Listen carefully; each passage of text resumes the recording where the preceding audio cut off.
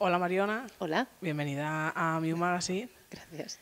¿Te acuerdas de las primeras sensaciones que tuviste para saber que querías dedicarte a, a esto de ser actriz? ¿Cuándo empezó a brotar en ti? Sí, bueno, me acuerdo más que las sensaciones porque era muy pequeña cuando pedí a mis padres que me apuntaran a teatro, pero me acuerdo mucho de mi madre que decía, esta niña es una payasa, no sé qué vamos a hacer con ella. O sea, sí que había esa cosa, y de hecho yo con siete, ocho años les pedí a mis padres y fui muy pesada para que me apuntaran a, a teatro, o sea que supongo que ya había algo allí que, que, que se movía o que despertaba curiosidad, porque no deja de ser, si tú lo miras, aunque sea en un teatro amateur, meter a una niña de 8 años en un escenario y nunca recuerdo una sensación de miedo, no, al contrario, me sentía bien allí, ¿no? Y con eso, sí, en, en una Navidad, yo en octubre me apuntaron y en Navidad ya estaba haciendo los pasturets en, en el centro de mi barrio.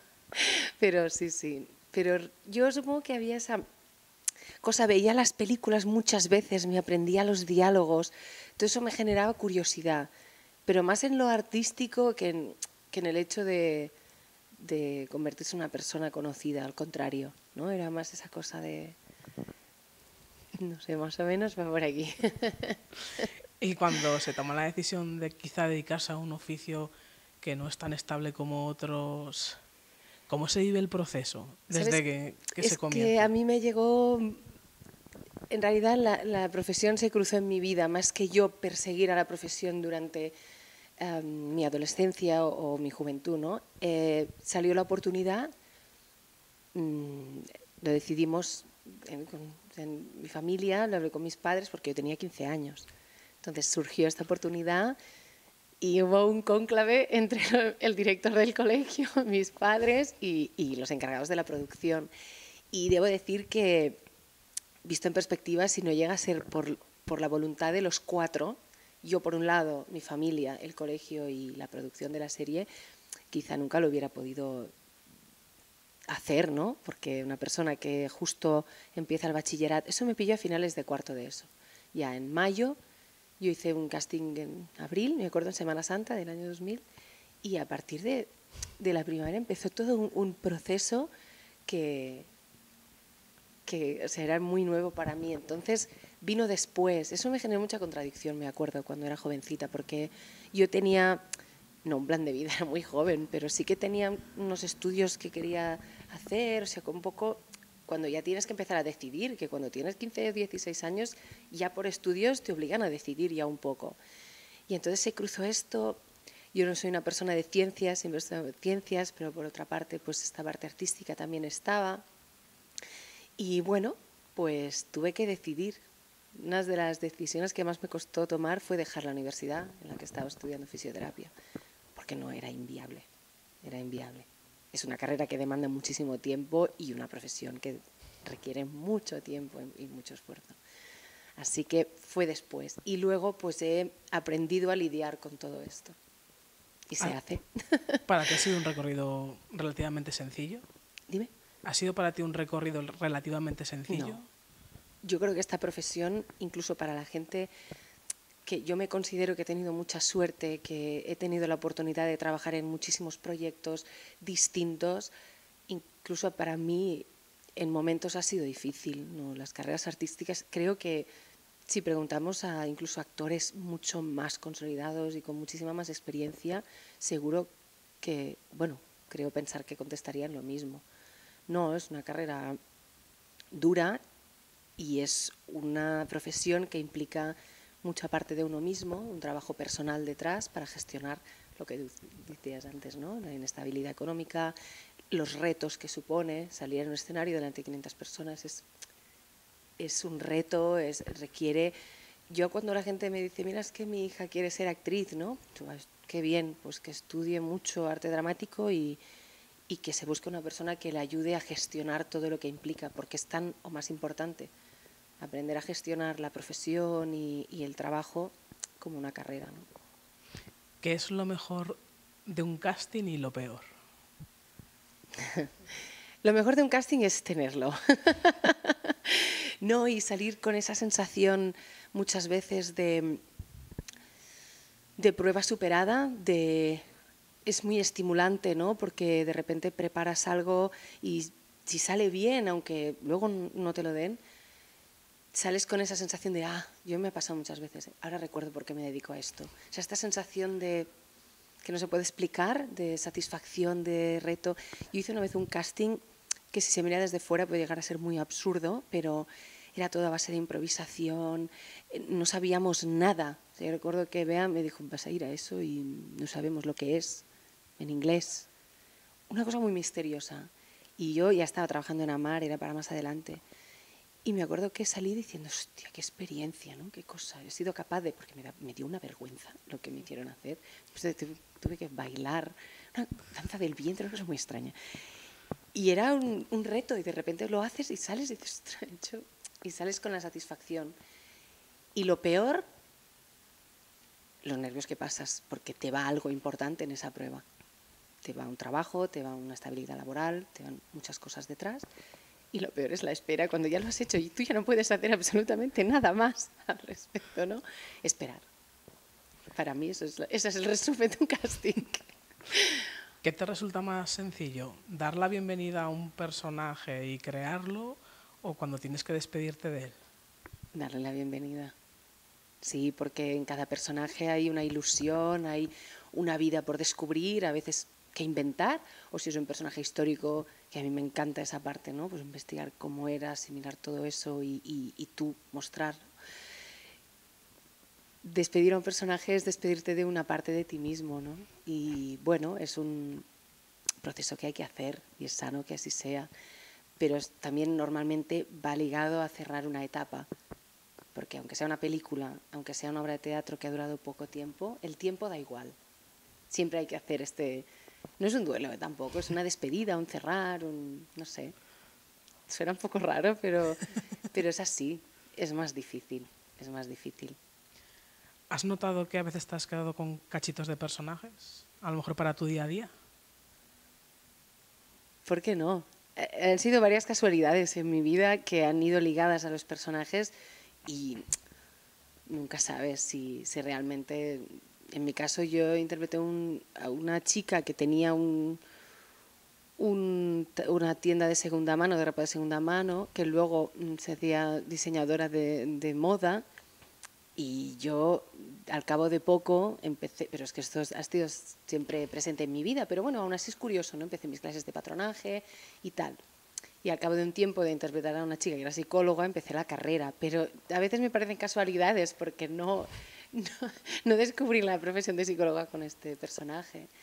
Pero yo quiero pensar que sí, que es una dinámica bidireccional, ¿no? El personaje tiene mucho de ti, aunque a veces no, no lo veamos nosotros. Y creo que sí, que tú te quedas con... Porque siempre te enseñan algo los personajes. Eso es el arte, ¿no? También, y la cultura que te enseña otras maneras de vivir la vida que son igual de respetables y correctas que la tuya, pero a veces dices, ostras, ah, es que eso también es una opción o... Y yo creo que sí, que te llevas un regalito de todos. Ahora podemos verte dando vida a Marta en Amares para siempre. Mm. ¿Cómo fue llegar a un proyecto que ya estaba consolidado? Bueno, fue... Había muchísima ilusión en, en, en entrar en Amares para siempre, ¿no? Es un Además, una productora que conozco con la que trabajo muy a gusto y que siempre me han hecho sentir en casa. Entonces, eso ya había mucha ilusión para retomar el contacto con gente que desde que se grabó la segunda temporada de La República, tristemente guardada en un cajón, ah, no había vuelto a ver. Y me acuerdo perfectamente el primer día de rodaje, empecé a ver gente y digo, hombre, y eso me hizo sentir ya mejor, ¿no? como más segura, más, más en casa. Por otro lado, yo empecé mi carrera laboral en una diaria, entonces, bueno, sabes un poco de qué va. Hacía mucho que no trabajaba en una diaria y tenía este miedo, pero luego te das cuenta de que tu, tu cuerpo lo conoce. Aunque Amar era el doble de trabajo, era un capítulo doble de largo y se trabajaba con dos platos a la vez. Yo no me digo que saliendo de Amar tú puedes hacer lo que tú quieras, porque es un training muy, muy bestia. ¿no? Y por otro lado, es un equipo que lleva muchos años trabajando juntos y que están muy acostumbrados a dar la bienvenida a actores nuevos y de, aunque no a veces no no es de una manera explícita, pero te sientes apoyado, ellos te, te ayudan, en todos, todos los departamentos ponen de su parte, dirección, por supuesto, ¿no? Edu siempre nos ha dado una bienvenida, nos ha resuelto dudas, pero también a nivel de dinámica de trabajo, no solo de, de, personajes, ¿no? Y todo el equipo pone de su parte. Entonces fue, fue muy bonito y muy gratificante. Había un punto de, de reto también. Si no hay reto, no hay, no hay compromiso a veces, pero... ¿Qué te está dando este personaje? Bueno, este personaje yo creo que nos está dando a todas las mujeres la oportunidad de ver a las jóvenes, me incluyo así, la, dificultad que habían tenido nuestras abuelas ¿no? a, la, a la hora de, de, salir adelante en un mundo hace 40 años. Me ha hecho mucha ilusión, especial ilusión, encontrarme mujeres ya mayores por la calle que ves este punto de ojalá yo hubiera podido desarrollar este papel en mi vida, ¿no? De, de tener muchas ganas de hacer muchas cosas cuando ellas tenían la edad de Marta y no poder por una sociedad machista en la que todavía se convive, pero a ver, hay una diferencia, ¿no? Eso es justo también decirlo. Y esa ilusión, ¿no? Y una mujer me dijo una vez, ojalá hubiera habido más Martas Novoa, ¿no? Y yo pienso, hay un punto en que no sé si la ficción nos ayuda mucho, ¿no? También, no sé si ella siempre muestra que es difícil, pero curiosamente siempre sale de todas, ¿no? Esa es la, licencia que nos permite la ficción y que a veces yo me pregunto si realmente era así. Pero, y a mí personalmente me está dando la oportunidad de, trabajar con, compañeros de la profesión a los que admiro muchísimo, a los que he descubierto y, bueno, una, una oportunidad de también entrenar muchísimo. Antes hemos hablado del equipo humano. Cuando tú tienes la opción de poder elegir o no eh, entrar dentro de un proyecto, ¿es tan importante el equipo humano que hay detrás como los guiones que te plantan? Es que cuando muchas veces tú tienes que elegir un proyecto no conoces todo lo que hay detrás y a veces todos son datos empíricos, fechas, sueldos, disponibilidades, pero sobre todo, esto ya es una cosa ya más práctica, pero que está también, la logística eh, tiene que estar. Pero el guion, el personaje es mucho más importante a veces, incluso que la repercusión que te puede dar el personaje o el proyecto. Pues enamorarte, enamorarte, que, te transmita ganas de, contar su historia. ¿Qué te parece que una serie diaria como Amares para siempre, a pesar de los años que lleva a sus espaldas, siga teniendo ese público fiel detrás? Me parece maravilloso. Me parece el sueño de toda serie. sí, sí, porque además es eso, ¿eh? la gente, el feedback de la gente en la calle es muy importante. Y quien te, quien te conoce y quien quiere compartir un momento contigo, muchas veces dices, es que llevo años viendo estas series, es muy fiel. Yo creo que depende también de los actores que estén, si tienen ya un, un, grupo de gente que ya les, les sigue, ¿no? Pues igual van variando, porque hay gente que se incorpora. Yo, si, hay un actor en una serie que de repente me gusta mucho, pues igual me pongo a seguir esa serie, aunque lleve 20 años y no la he visto antes. Pero hay esta, ¿sabes? Este volumen de gente fija que ama la serie y a mí me parece un regalo y algo que nunca se tiene que perder de vista, ¿no? Y ahora llega la moda, complementos para bebé. ¿Cómo te metes en esta aventura?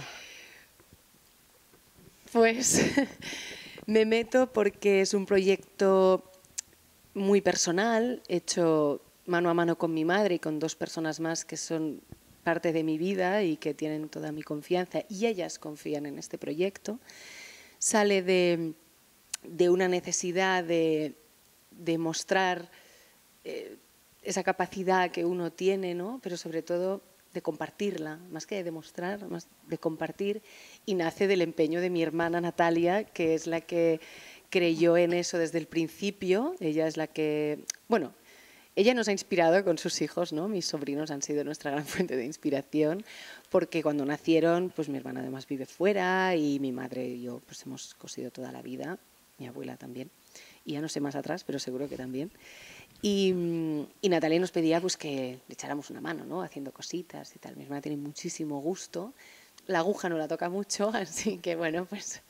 Y fue como una cooperación, ¿no? Para construir la habitación de, de Lisenda cuando nació ella, ¿no? Y luego la de Guillem.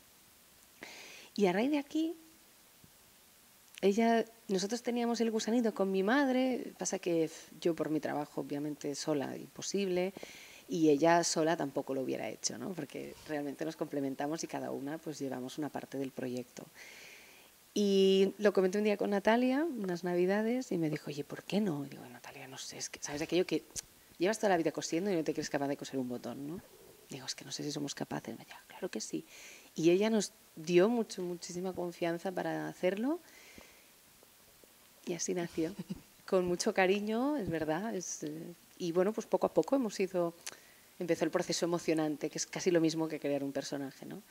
Pues buscar las telas, buscar esa línea cromática, ¿no? buscar un poco la idea que teníamos, ponerla en común con mi madre y luego enseguida Elena y Marta pasaron a formar parte de este proyecto y sin ellas mm, no haríamos nada, nada. O sea que somos un equipo de cuatro mujeres que, bueno, pues que estamos ahí tirándolo adelante. ¿Sentiste un poquito de vértigo? Claro, sí. sí, porque además piensas, yo, ¿por qué me voy a meter en eso si hay gente que tiene muchísima más experiencia, ¿no? Pero bueno, también pones encima de la mesa tus recursos, ¿no? Y una cosa que ha estado presente en mi vida, yo he nacido rodeada de agujas, rodeada de, de amor por, por las labores, por... Mi abuela era, trabajaba más las labores, lo que se llama, eh, voy a traducir, coser de blanco, que es yo siempre lo había oído en mi, en mi casa cuando era la labor fina, ¿no? Esas, esas prendas que eran cortinas o tapetes, no, no, era la confección. Luego me metí en la confección porque mi madre iba a coser a casa de una modista en Sabadell y un día fui a ayudarla y de repente dije, ¿para qué voy a estar aquí haciendo el trabajo sucio, no? pues yo también. Y me apunté a clases. Yo con 19 años, eh, mis amigas me decían, bueno, esto era extraño. Ahora está más de moda, pero es verdad. Yo me acuerdo hace 14 años que la gente me miraba como vaya friki y yo feliz con mis prendas y, y mis, mis cosas, ¿no? ¿Te has dado cuenta que es importante tener mucha paciencia? Sí, sí, sí. ¿Y sabes qué creo que me ha enseñado a tener mucha paciencia? El coser. Es lo más importante que me enseñó mi abuela, a tener paciencia. Lo creo de verdad, ¿eh? parece que siempre estoy haciendo paralelismos adrede, pero es, que es verdad. Hay que tener mucha paciencia en general en la vida, ¿eh? O sea, pero pues eso, en esta profesión lo que hablábamos, a veces hay que tomar distancia para seguir teniendo paciencia, pero desde otro punto de vista. Y en eso creo que aprendí porque, porque era una persona muy inquieta, igual siempre he tenido paciencia y salió por allí, pero sí que me acuerdo mucho de, de lo que ella me decía respecto a, coser, ¿no? Si había un error, me pensaba, me va a hacer deshacer todo lo que he hecho y volver a empezar. Y así era. Y eso es lo más importante que he aprendido, creo. A tener paciencia y así hay un error, más vale volver a empezar que acarrear un error el resto de tu vida, en realidad. Así que sí, sí, hay que tener mucha paciencia. Y hay que aprender. Se aprende, ¿eh? que hay gente que dice, es que no tengo, ya, ya está. No, no, como todo, se entrena. Parece ser que los medios de comunicación nos empeñamos en decir a todos los artistas que tener éxito es ser el número uno en listas o trabajar en un prime time, pero para ti, ¿qué es el éxito de verdad? Para mí el éxito en lo que se refiere a lo profesional es poder seguir trabajando, poder seguir creando y, seguir desarrollando esa profesión, sea en el, entorno que sea. ¿no? Obviamente no podemos negar que vivimos en un, en un sistema y en, una manera de vivir que todos necesitamos recursos, quiero decir. Eh, muchas cosas pesan también, pero el éxito para mí es seguir, seguir trabajando, seguir em, pudiendo desarrollar mi carrera y poder seguir dando vida a tantísimas mujeres que tienen muchísimas cosas que explicar. Y para mí este es el éxito. Obviamente el éxito se seguirá midiendo en los parámetros que tú has dicho y hay que pelear también. O sea que es una combinación de las, de las dos cosas. Pero si no hay una pequeña autorrealización, una, una satisfacción propia en el proyecto que se lleva a cabo, ¿no?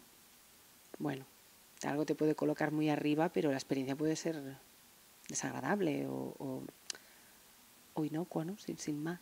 Entonces, bueno, se tiene que medir las compensaciones, pero bueno. y para terminar, para Mariona en qué consiste la felicidad. Ay,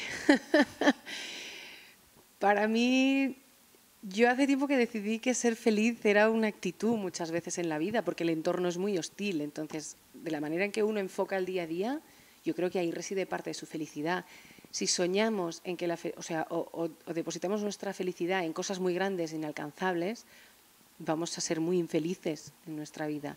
En cambio, estamos rodeados de pequeñísimas cosas que nos pueden hacer un poco felices todos los días. Se parece una clase de autoayuda, pero no lo es. Pero es verdad, para mí la felicidad reside en las pequeñas cosas, porque hay mucha felicidad que pasa desapercibida, porque nos enseñan y nos meten en la cabeza que lo único que nos hará felices es tener muchísimo dinero, mucho éxito y tal. Y en el día a día hay mucha felicidad desaprovechada que creo que hay que estar muy atento. Y para mí es eso, buscar la felicidad ¿no? en, lo cotidiano. Y es, a mí lo cotidiano me hace feliz, las otras cosas también, obviamente, ¿eh? que aquí somos humanos. Pero es verdad, las pequeñas cosas. Yo, por ejemplo, he pasado un fin de semana maravilloso y lo único que he hecho ha sido descansar y estar con gente a la que quiero muchísimo. Y he hecho balance y digo, anda, qué bien, ¿no? Pues qué fin de semana tan, tan bonito. Y para mí es eso. Pues te deseamos toda la suerte del mundo. Muchas gracias y mucha felicidad. A vosotros.